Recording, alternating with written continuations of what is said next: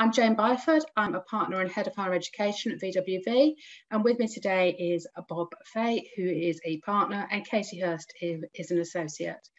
So we can move on to the next slide, please, which is our agenda.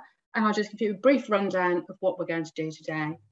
So first of all, Katie's going to look at what a protected conversation is and what claims are covered by the protected conversation regime. I'll then look at the interaction between uh, protected conversations and without prejudice discussions. I'll look at the protected conversation process and I'll go through some of the potential pitfalls. We'll then move on to Bob, who'll look at settlement agreements and provide some practical guidance for you. And there should be plenty of time at the end to answer your questions. So I'll hand you over to Katie. Thank you, Jane. Um, so as Jane mentioned, what I'm going to talk about to start with um, is what is a protected conversation and when you might want to use one. So what is a protected conversation um, and why might you want to use it? So an employer might want to propose termination of employment on mutually agreed terms before there is any dispute between the parties.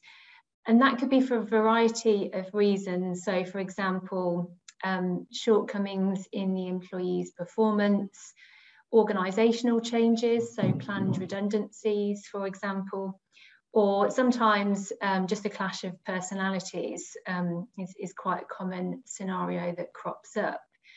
Um, so from an employer's perspective, it's commercially beneficial often at an early stage to have that conversation with an employee without having to go through a capability process or a redundancy process or disciplinary proceedings. So a protected conversation is different to a without prejudice conversation. Um, and Jane will talk about without prejudice conversations in more detail. Um, but the the, the general premise is that an employer can have an open conversation, sorry, an, an honest conversation with an employee about terminating their employment on mutually agreed terms with a view to that conversation then not being used in litigation at a later stage. Traditionally, employers were quite cautious about having conversations with employees before any dispute had arisen, because often there was a risk in those situations of um, a constructive dismissal claim potentially arising if the employee felt that actually being approached with a view to their employment being terminated um, was a, a breach of the implied term of trust and confidence. Um, also, employers were slightly nervous about it because employees might say that such conversations amounted to discrimination or victimisation, or sometimes if the employee had um, raised a whistleblowing complaint, that then being approached about termination was potentially a detriment. Um, so historically, employers were in a bit of a, a difficult situation when trying to resolve things commercially. And it was really in response to that that um, back in July 2013, the government introduced a new statutory framework. The, the statutory term for it is pre-termination negotiations, um, which is essentially the same as a protected conversation. So those, those two are the same thing. Um, the aim of the, the, I won't say it's the new statutory regime, but the aim of the statutory regime was that it would be easier for employers to initiate those conversations with less risk of them being admissible in subsequent tribunal proceedings. Um, however, as we'll see when we look into it in a bit more detail, in fact, there are quite significant limitations to when they can be used um, although they, they can be a useful tool. So what is a pre-termination negotiation? Um, the statute defines it as any offer made or discussions held before the termination of the employment in question with a view to it being terminated on terms agreed between employer and employee. Um, one thing I would say at this point is that there is case law that suggests that um, a, a, conversation won't amount to a protected conversation if no settlement offer is actually made to the employee. Um, so there was a um, case, an employment tribunal decision which um, involved a CEO of the company. Um, he was sat down by the chairman and asked whether he considered resigning from his employment. He said he hasn't, and essentially the chairman then said that he wanted to end his employment and that he'd no longer have a job by the following week. The tribunal, perhaps unsurprisingly, found that that was not um, a protected conversation because no settlement offer was actually made to the employee. Um, and there weren't any negotiations with a view to the employment being terminated on mutually agreed terms. Um, so moving on to the next slide, I'm just going to talk about which claims um, are applicable in the sense of protected conversations. So the basic position is that those conversations are inadmissible in respect of ordinary unfair dismissal claims. And you'll see on the slide it says, unless there is improper behaviour, which I'll come on to in a moment. So this is one of the, um, the biggest limitations really of the um, protected conversation regime is that it's only in respect of unfair dismissal claims that that cannot be referred to. Um, if the conversations are protected, then what it means is that the fact the conversation has taken place, as well as what was discussed during the conversation, are both not to be um, disclosed in tribunal proceedings. So it's only ordinary unfair dismissal claims that are um, applicable. Um, so it doesn't include any automatically unfair dismissal claim. So for example, where somebody has made a protected disclosure um, and then alleged that they've been dismissed on the basis that they made that disclosure. Um, or more recently in the context of COVID, we've seen automatic unfair dismissal claims where people are claiming that they've been dismissed for having raised health and safety concerns. So there would be no protection in those types of claims. Um, it also doesn't apply in respect of discrimination, um, whistleblowing, which is um, mentioned on the slide, and also wrongful dismissal, so a claim for notice pay. Um, that, that makes it quite difficult for employers because um, it's not very often that people bring claims just for ordinary unfair dismissal. It will often be unfair dismissal and some other type of claim as well. Hmm. Um, creates a slightly difficult situation in practice because what it means in the employment tribunal is that the conversation would not be admissible in respect of the unfair dismissal claim, but would be admissible in respect of the other types of claim. Um, so it can create some practical difficulty. Um, of course, the, the other thing is employers won't know what potential claims employees might bring in the employment tribunal, and it ultimately comes down to how the claim is drafted. Um, so even if it's drafted um, in terms that don't seem to be legitimate, so that the claim itself doesn't seem to be very strong, if it is a claim for something other than ordinary unfair dismissal, then those conversations will be able to be referred to. Um, so again, there is some in, inherent uncertainty with, with having the conversations. I'm just going to talk in a bit more detail about what attracts statutory protection.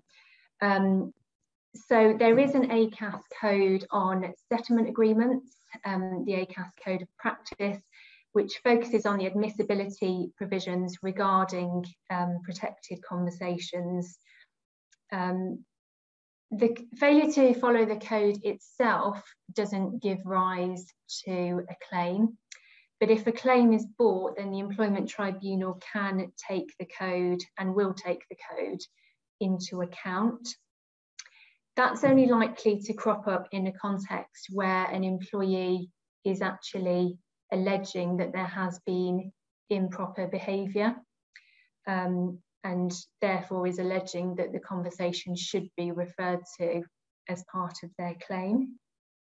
So the ACAS code sets out a number of things that employers should do um, and should think about when having these conversations with employees.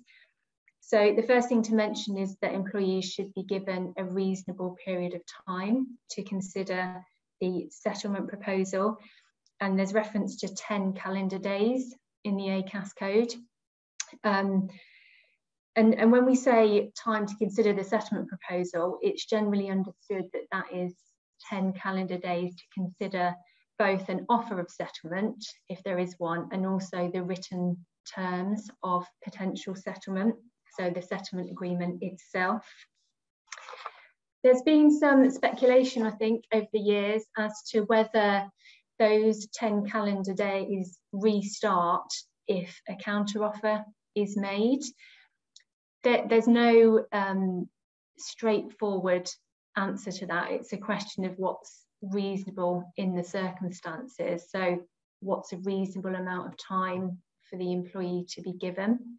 The general view seems to be that if within those 10 days there is a counter offer in terms of the monetary settlement, that that in itself won't generally trigger the 10 days to consider again. Um, but if there were significant changes proposed to the settlement terms themselves, that might well be an appropriate time to restart the clock and give the employee 10 days to consider the offer. Um, the other thing that's mentioned in the code, which is potentially slightly problematic, um, is allowing employees to be accompanied at these conversations. That doesn't really take account of the fact that these are often um, impromptu conversations that don't involve um, formal invites, etc. But employers should be mindful that there is that provision within the code to allow employees to be accompanied during the conversation. I don't think there's any clear case law on what would happen if an employee wanted to have a companion and that was refused. Um, the main risk would seem to be around employees alleging that they were put under undue pressure to accept the agreement and that essentially that undue pressure amounted to improper behaviour and the statutory protection falls away in respect of the unfair dismissal claim. So what is improper behaviour? Um, the ACAS code sets out a number of specific examples of what improper behaviour is um, and also some examples of what would not be considered to be improper behaviour. Um, just to say, in terms of the tribunal process, um, that what the tribunal looking at would be looking at if there was an allegation of improper behaviour would firstly be making a finding on whether there had been something said or done which amounted to improper behaviour. And then if it found that there was, it would then go on to consider to what extent it's just and equitable for that to affect the admissibility of the conversation. So what that means is even if improper behaviour is found to have occurred, that doesn't automatically mean that all of the um, details of the protected conversation are then admissible. It's a question of the tribunal considering what's just and equitable in the circumstances.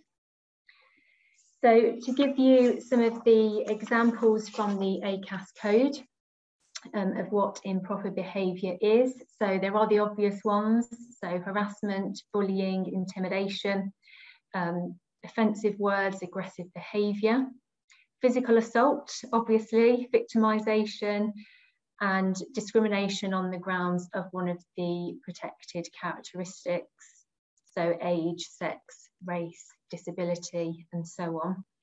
Um, the slightly less obvious ones are what's referred to as undue pressure. So what might undue pressure be? So the examples given are that the employee is not given a reasonable time to consider the settlement offer. So again, just focusing on that 10 calendar days. Um, secondly, the employer saying that the employee will be dismissed if they don't accept the offer.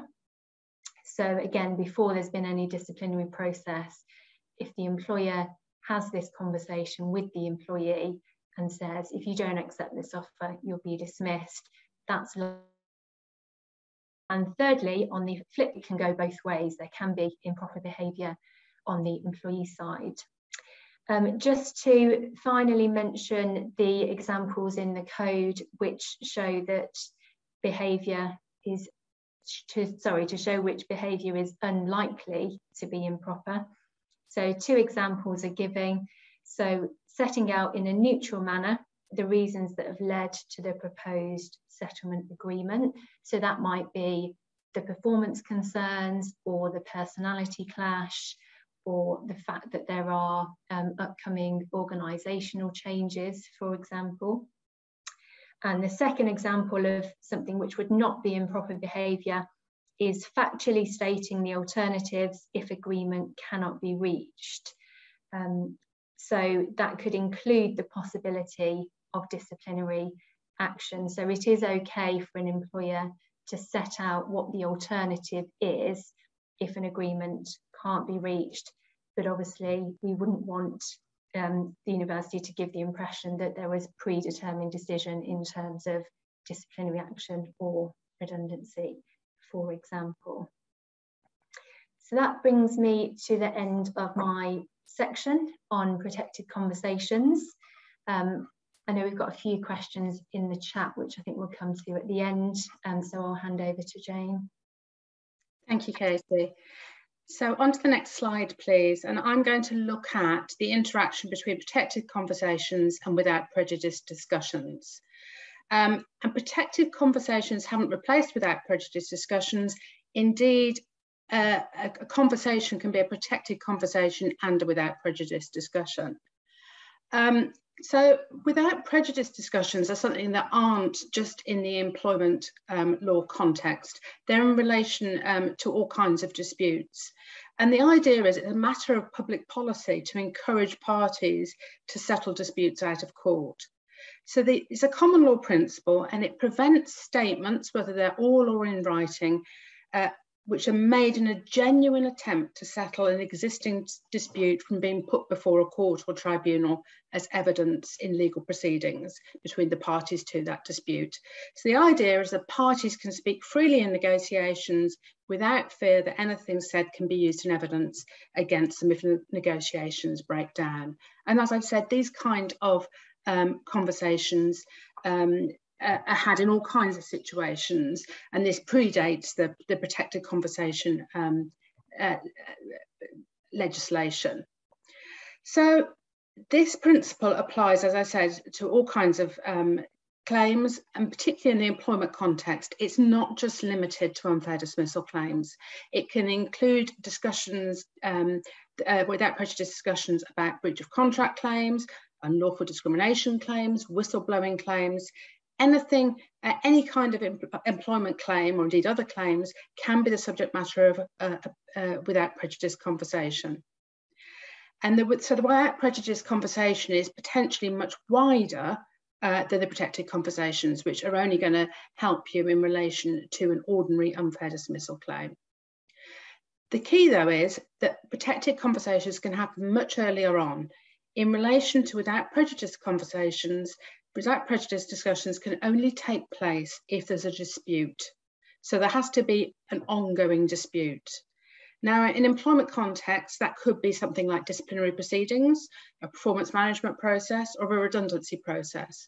We'd always recommend, though, that that process is started so there's clearly a dispute uh, before you start having without prejudice discussions.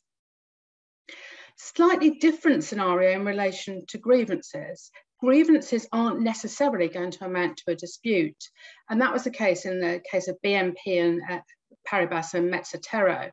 And there, a woman raised a grievance about being prevented to return to her old job after the end of her maternity leave. And um, she was then called to a meeting, and that meeting, which was said to be without prejudice, um, she was told that her job was no longer viable, uh, that it would be best for both parties if she left under a settlement agreement, and that if she didn't, she was going to be made redundant. Well, in that situation, um, what the uh, tribunal said was that this wasn't a dispute. She was just questioning why she wasn't allowed to come back to her job. So there wasn't a dispute that had protection. Um, and uh, therefore it wasn't covered by the without prejudice uh, rule. And she was allowed to bring um, details of that so-called without prejudice conversation um, into evidence in a later uh, discrimination claim.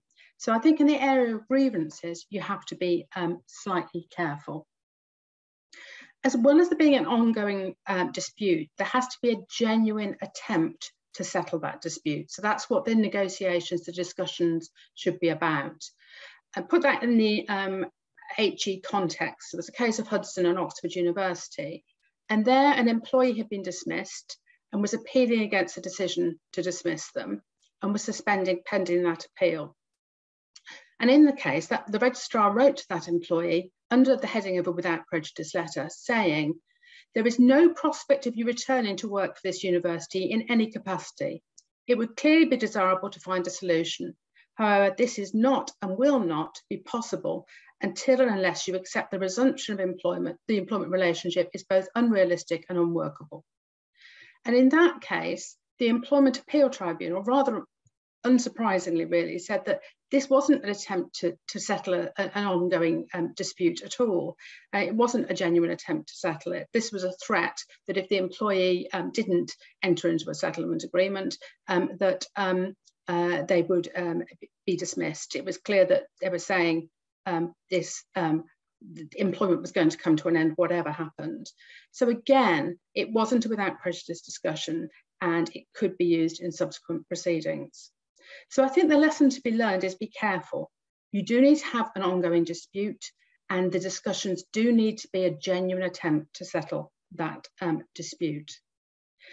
And there are some very narrow exceptions to the without prejudice principle where it might be that you can challenge something being on a without prejudice basis, uh, despite the fact that there is an ongoing dispute and it is a genuine attempt to settle that dispute. So uh, Katie talked about in um, protected conversations, things like undue influence and, and, and not giving people enough time to consider uh, and so on might be uh, relevant. Well, there are very narrow exceptions in relation to the without prejudice rule. So really something like misrepresentation, fraud or unambiguous impropriety are the reasons why a court might look and say, no, that's not without prejudice uh, generally. So you've got a bit more leeway there. But um, you have to um, bear in mind that this does only apply in relation to um, where there is a dispute. So protected conversations, although um, you have to be much more careful about what you say in a protected conversation than without prejudice discussion, they can be had much earlier on. There has to be a dispute in relation to a without prejudice discussion. Move on to the next slide, please. So I'm going to look now at the process for a protected conversation. Katie's touched on this, um, uh, particularly um, in relation to improper conduct. But there's no set process for what a protected conversation, um, how a protected conversation takes place.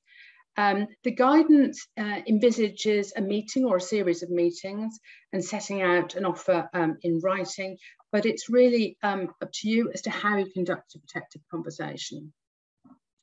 But we'd recommend following um, this process. We'd say have an initial meeting um, with the employee to explain the proposal and see if they're interested in it. Um, in most cases, as Katie said, these are sort of impromptu, dis informal discussions. So you probably won't be notifying the employee um, of the purpose of the meeting and what's going to be discussed beforehand. Um, but um, and it probably will just be um, uh, sort of a, a, not the spur of the moment, but an employee will just be called into a meeting rather than be given formal notification of it. So as Katie said, it could be difficult to um, have the right to be accompanied at that meeting, but we'd say that that is quite um, normal. If someone asks to be accompanied, then certainly um, the meeting should be adjourned to allow them to be. Ideally, you'd have a note taker present just in case um, there are any accusations at a later state, stage of improper conduct. So you've got a note uh, to rebut that. Um, but what you should say at the start of the conversation, don't necessarily need to say it's a protected conversation. I know that's a question that's been asked, but you should say it's confidential and you should say it won't be admissible in any subsequent legal proceedings. Those are the, the things you should be um, saying. You don't need to use the words, um, the magic words protected conversation or pre-contract negotiations, just to say it's confidential and it won't be admissible in subsequent proceedings. You should explain to the employee the circumstances that are leading to the meeting um, in a neutral manner. So the kind of thing you might be saying is, look, concerns have been raised about your performance. No decision has been made yet about whether to take you through the performance procedure, but we wondered whether it was worth having an initial chat to see if um, some agreement can be reached between the parties. Or in a case of gross misconduct, again, there've been some allegations made against you. Um, we're considering whether or not to, to investigate those under the disciplinary procedure.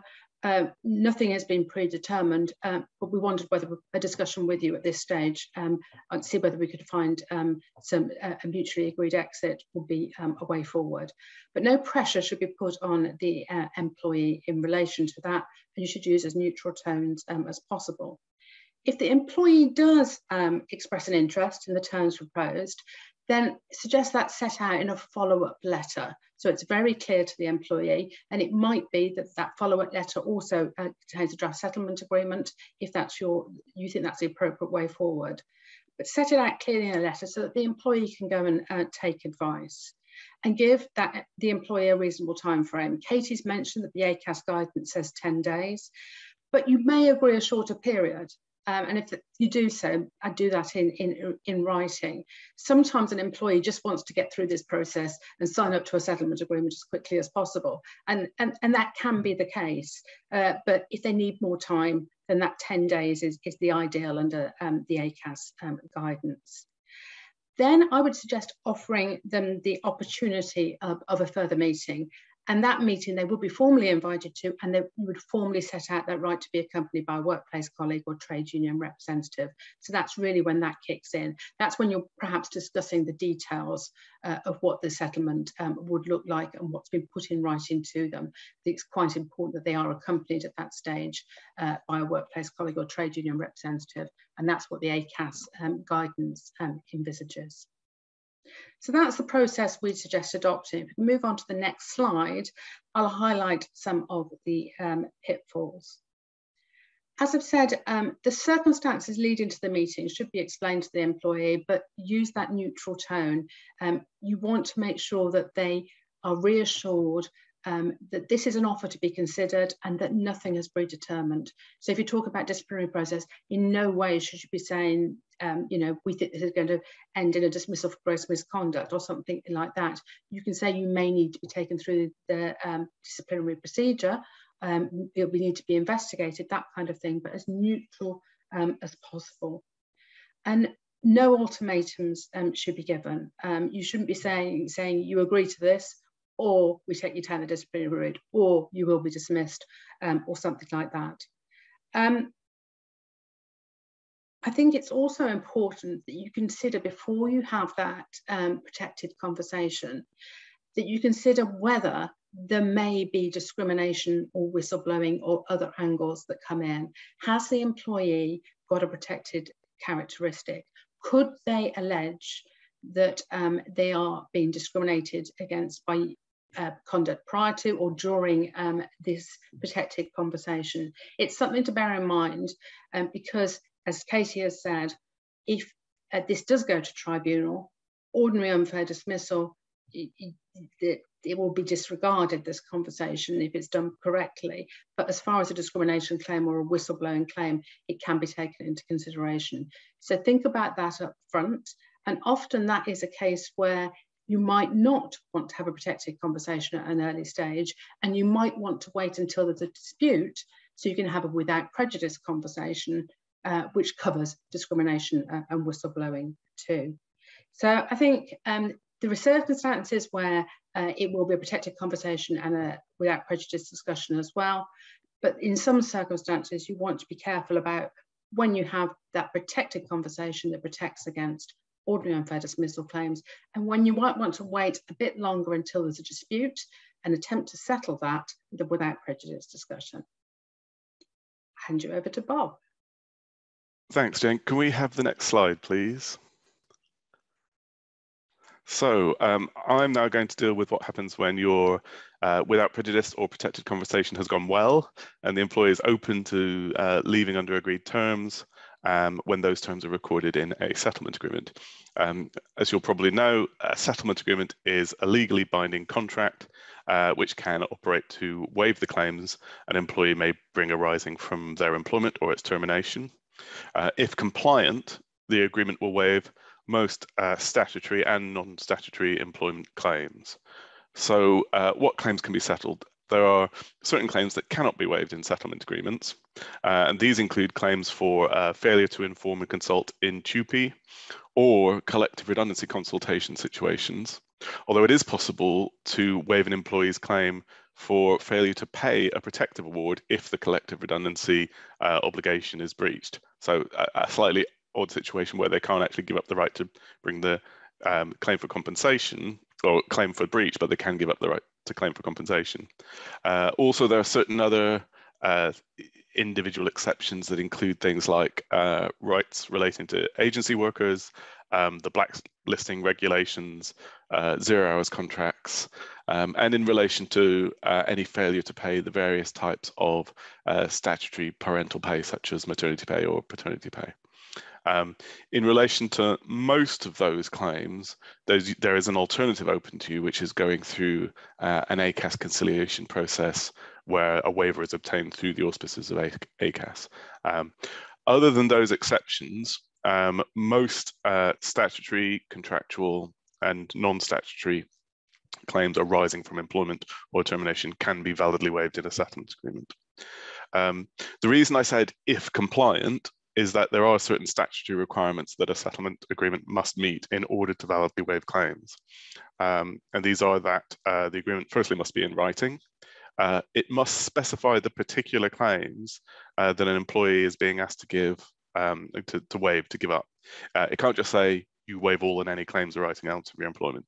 Um, and for those of you relatively familiar with settlement agreements, that's why there's usually this a very long list of statutory claims that the employee is asked to confirm they're giving up.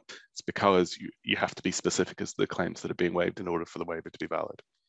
Um, the next requirement is that the employer must have um, advice from a relevant independent advisor, and that advice has to cover uh, the terms and effect of the agreement, in particular, its effect on the employee's ability to pursue claims in an employment tribunal once the agreement is signed.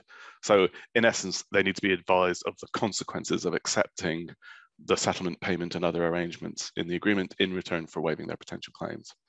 Um, relevant independent advisor has a specific meaning um, when it applies to settlement agreements. Um, and in practice, it will mean a qualified solicitor or either a trade union representative or um, legal advice center worker who has received the appropriate training and has been given certification uh, to advise on uh, settlement agreements as an independent advisor. Um, whichever of those three categories of relevant, relevant independent advisor provides the advice, they have to have in place appropriate indemnity insurance covering the advice they give the employee. Um, and finally, the agreement must state that it meets the statutory conditions governing settlement agreements. So again, for those of you a bit more familiar with agreements, if you've ever wondered why there's a quite chunky, dense paragraph of text saying something like this agreement complies with uh, the terms regulating settlement agreements under section 203 of the Employment Rights Act, and, and then there's a huge list of lots of other statutory uh, instruments and, and statutes that contain similar provisions that's why it's in there. It, it, has to be that paragraph has to be in the settlement agreement saying we are meeting the statutory requirements, otherwise it's not a binding agreement.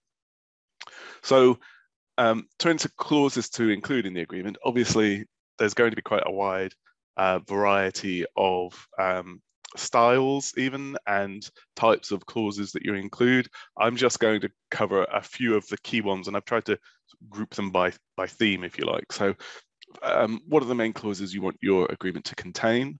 Well, first and foremost, as the employer, you're going to want to show you're getting value for money for the settlement payments you're making and the other arrangements you're putting in place. So you're going to want to ensure as far as possible that once the employee receives their settlement payment, there's no chance that they're going to be able to pursue any further claims. Uh, the main way to address that will be the clause that sets out and waives all of the relevant claims. Um, but in addition to the waiver clause, it is common to include um, various categories of what you might call belt and braces drafting to reinforce those waivers. So common examples might include uh, warranties that the employee, uh, or sorry, warranties from the employee that the agreement does actually ad address and list all of the claims that apply to them. So essentially that's a promise from the employee to you that you've not missed anything from your big list of claims that you asked them to give up. Um, you might also commonly include warranties that they won't pursue claims in an employment tribunal once the agreement's been signed. Um, or if um, proceedings have actually been issued, you will want to include a mechanism where the employee writes to the, the to the tribunal seeking uh, withdrawal of the claim and uh, agreement that the claim is dismissed. Um, you may also want a warranty from the employee um, that they've not accepted or been offered new employment. Now that last one um, will be particularly important when you're paying a settlement sum that has been based on a presumption of a certain period of loss of income um, by the employee as the result of the termination of employment. So in more contentious situations where a claim has been threatened, um, it's probably less important, perhaps not um, appropriate at all in circumstances, for instance, where your settlement agreement is the result of a voluntary severance package where the value of the exit package is based on a pre-agreed uh, figure based on some kind of uh, calculation that the university set out. So it's always um, worth thinking about the circumstances in which certain warranties may or may not be appropriate. And then once you've dealt with the key exit terms, you're probably going to want to address some practical points around termination arrangements. Um, these might include asking whether you want to put the employee on garden leave for all or part of their notice period, um, or uh, whether you require them to carry out any specific handover, or indeed whether the circumstances merit an immediate termination of employment and a payment in lieu of all or the balance of their notice period. Um, and whether you're uh, asking the employee to work their notice or putting them on garden leave or terminating and paying in lieu of notice, um, you will want to think about what, what handover process is appropriate um, and whether there's a need to address a return of university property. Um, sitting alongside that uh, property issue is the question of keeping or returning confidential information. Um, and both of those points can sometimes be a bit more involved in the context of academic staff, as it may be appropriate to have a general obligation to return property and confidential information, but in some cases you might need some specific carve-outs around access to research materials or uh, publication of, of academic um, academic documents. So it won't be appropriate in all cases. It's a very fact-specific consideration, but sometimes a simple um, return of property and abide by confidentiality clause may be more simple than you actually need. Um, one other point to bear in mind is if there's going to be any kind of uh, substantial period between the date the agreement is signed with with the initial waiver and the date that the employee actually leaves employment, um, you may well be advised to have a two-stage settlement agreement with a, a, reaffirmation letter on or around the date of termination. And the reason for that is to ensure that you are um, uh, uh, obtaining a waiver, an appropriate waiver of any claims that might have arisen between the date they first signed the agreement and then the date that they've uh, left employment. Um, and the reason for that is, although there's no case law on this, um, it's generally thought that it's going to be difficult to validly waive uh, a cause of action that arises after the date that an agreement has been entered into. Um, so reaffirmation certificates in, in the right circumstances. Um, and then uh, there'll be the issue of uh, confidentiality of the settlement terms themselves, of the existence of the agreement, and uh, how you deal with matters affecting the parties' respective reputations. Um, those may include confidentiality restrictions, um, often uh, but not always mutual. Um, also agreements not to make derogatory statements about each other, again, often but not always mutual. Um, and in the employee's case, there may be a need to consider an agreed reference, sometimes even, usually in the case of more senior academic employees, um, some kind of agreed announcement about uh, their, their departure. Um, and I'll, I'll, say a bit more about confidentiality when I get to um, the next slide and talk about practical tips. Um, next uh, clause that, that would you, um, as usual, want to address uh, would be something dealing with the employee's advisor's fees. Um, it's common practice to make a contribution to employees' legal fees where the relevant independent advisor is a solicitor. There's no actual legal obligation to do that.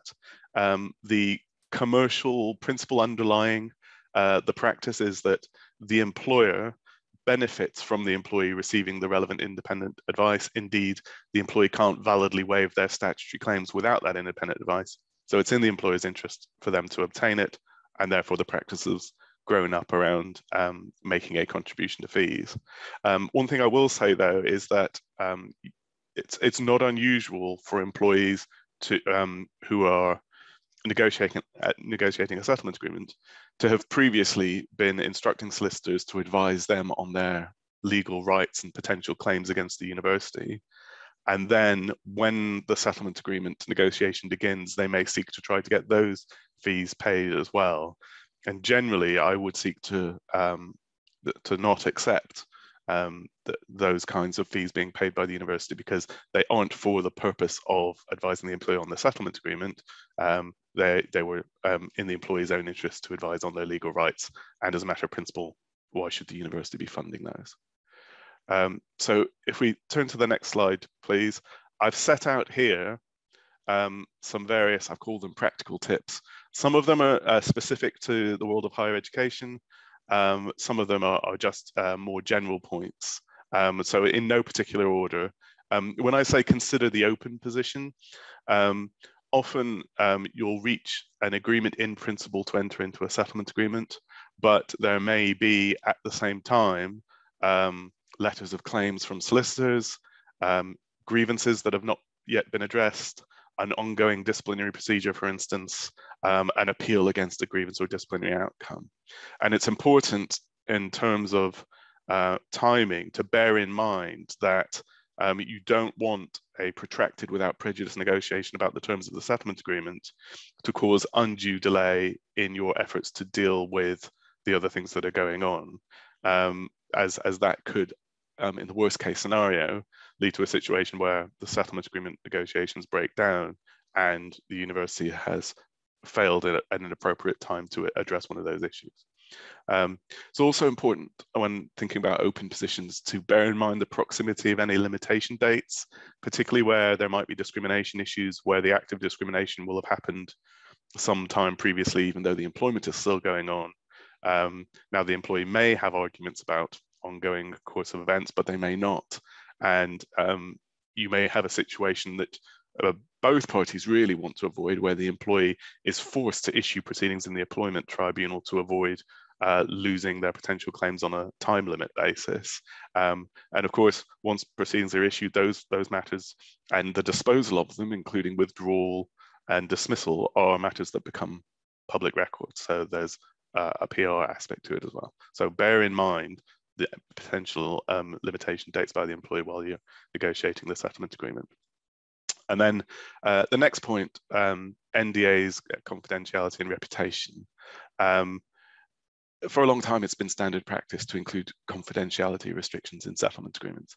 Um, however, as I'm sure you'll be aware, in recent years, there's been uh, quite a high degree of public concern about the misuse of what tend to be called NDAs when um, reported on um, by the press or discussed in government, um, but the use of confidentiality restrictions in settlement agreements in an inappropriate way so as to prevent employees coming forward about wrongdoing within their employer and allow the employer to continue with that wrongdoing.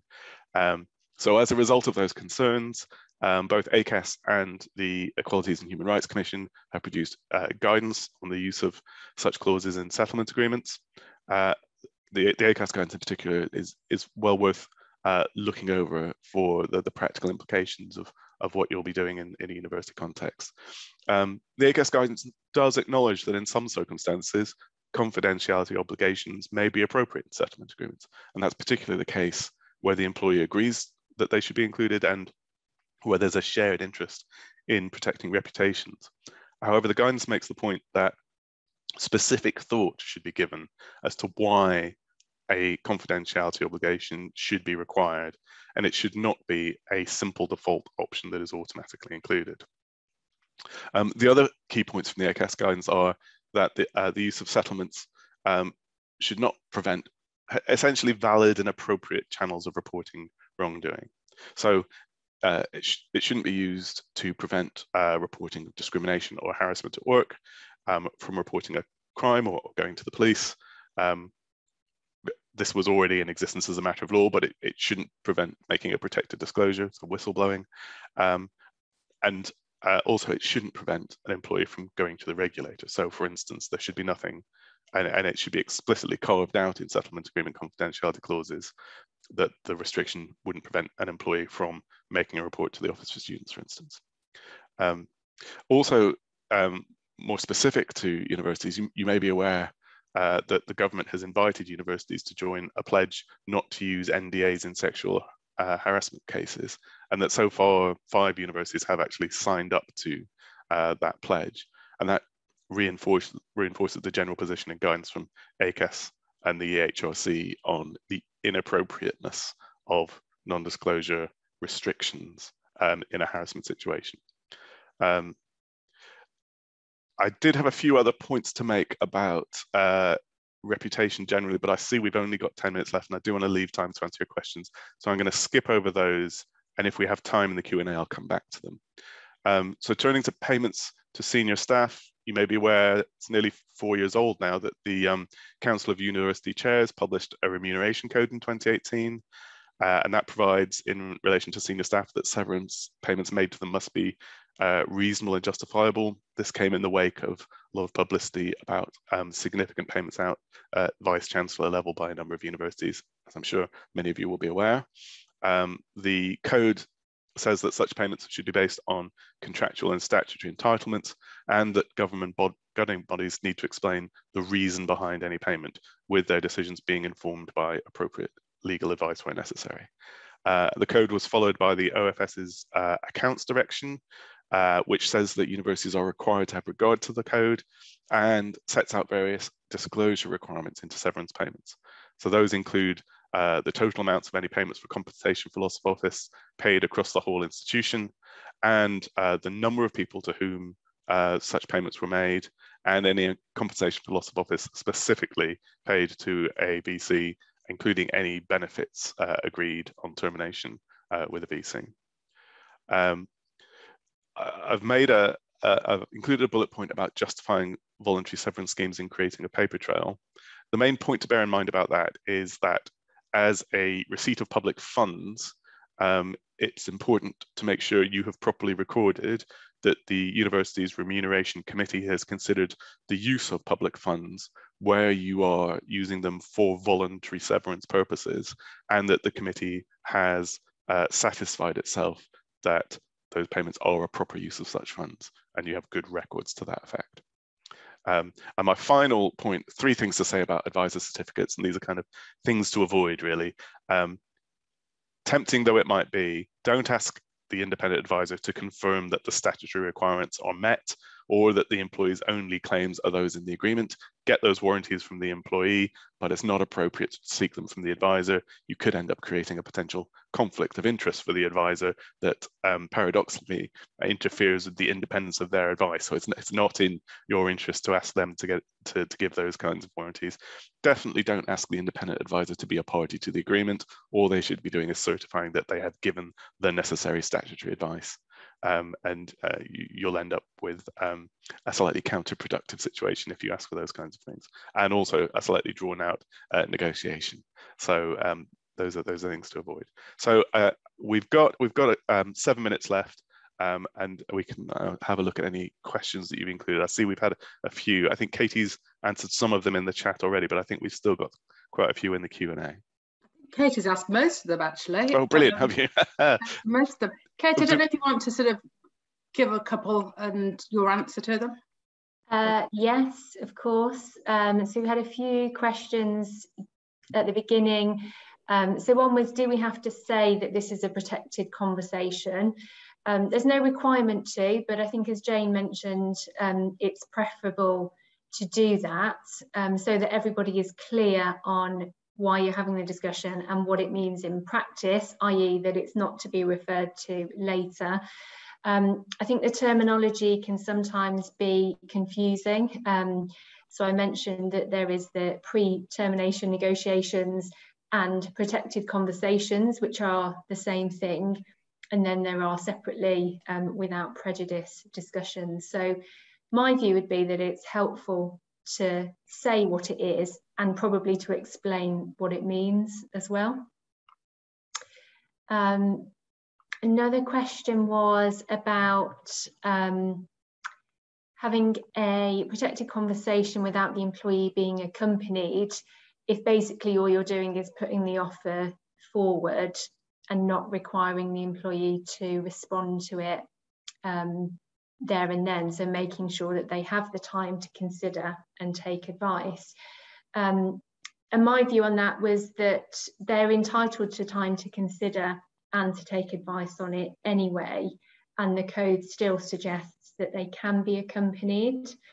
Um, my view is it's quite low risk if somebody isn't accompanied, and the risk is really around any allegations of improper behaviour.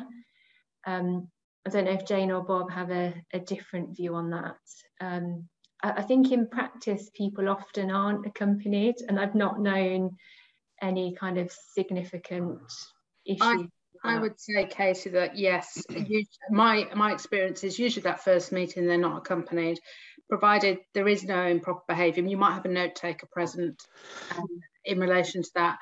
Um, yeah, it's the improper behaviour, the undue influence issue that can be an issue, but it, in practice, it doesn't tend to be. If you're just putting an offer to someone then send them away to consider and say you'll have a further meeting in 10 days or, or whatever it is.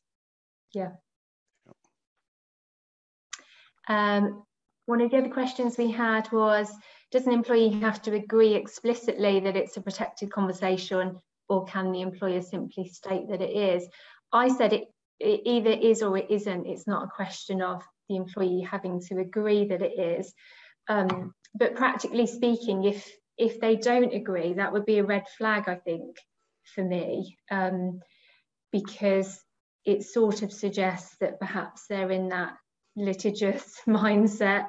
Um, Bob's cat, uh, likely to want to refer to it later. Oh, sorry about that. Um, I, I, I, agree with that, Katie. I, I think you might need to be a slightly more careful when it comes to a without prejudice discussion, though and mm-hmm. it's it's uh, to avoid that Mezzotero and Paribas kind of situation you don't want to say without prejudice are you willing to talk about leaving the university for instance. It's get get the agreement that there's going to be a without prejudice discussion first and then you can you can get into the details of what you want to say. Yeah. Uh, have we got another question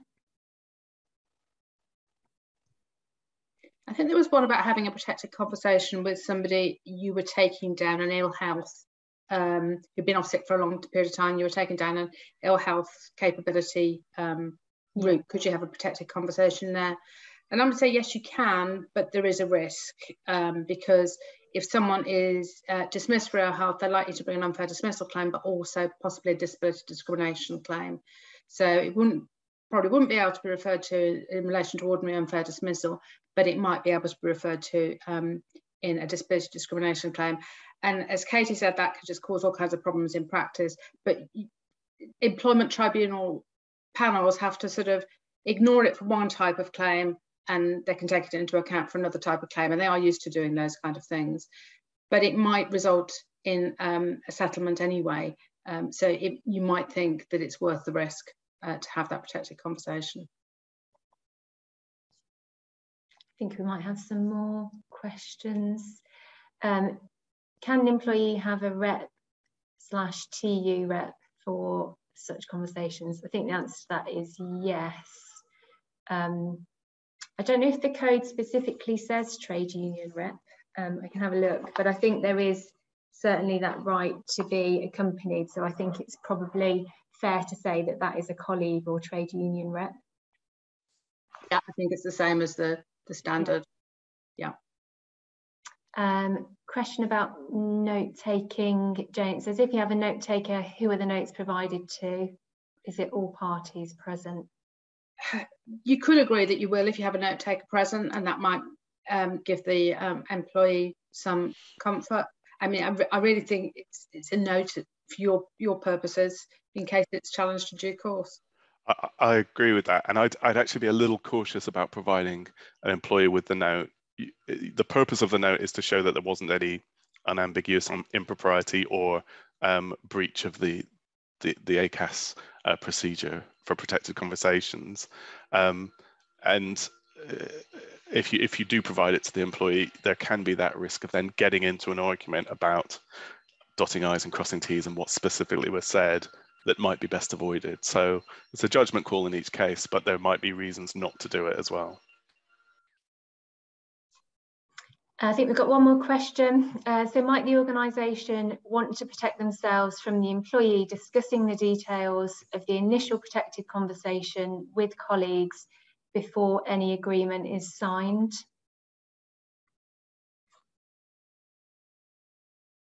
So I think, Bob, you, you were talking about um, future future claims, I think, weren't you? But um, often the settlement agreement will say something along the lines of um, the employee, well, I suppose it can say either, but it will sometimes say the employee will not um, disclose the fact and content of the agreement. And sometimes it will say as well that the employee has not done so. Yes. Mm. Um, but, but it's also, um, I think valid and and you know depending on the circumstances can be appropriate to say this is a confidential discussion you know you you are instructed not to share uh, the facts or details of these discussions with anyone whilst they are ongoing. Um, and um, if an employee ignored those instructions that might be that might be something to be dealt with as a disciplinary issue. So i think that would be perfectly appropriate for you to do